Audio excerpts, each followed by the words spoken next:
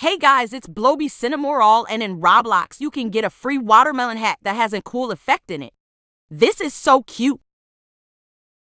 I think this might be a limited once it's gone, and make sure you guys get it right now on Roblox.